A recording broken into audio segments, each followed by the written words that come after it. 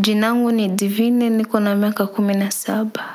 Mbele ya kuya Uganda nilikuwa naishi Goma, RDC. Stori yangu ya leo ni juu ya familia yangu.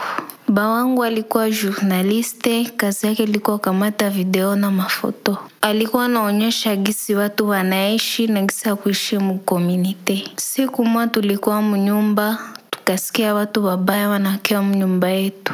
Kauliza jua nini babangu anapendaka kamata mafoto na mavideo. Bakauliza jua nini babangu anapenda kamata mavideo na mafoto. Bakamata babangu wakaanza mpiga na wakakamata mama wakampeleka mshambwe wakaanza mvyole. Tulitoka Kongo tukaingia mganda juu insekurite. Siku tulifika Uganda, dadangu bakamvyole. Sa walimvyole akapata trauma mpaka leo kichwa yake kibie, na mie juu tuwe nilionaka kichwa kwa kitena tena bie.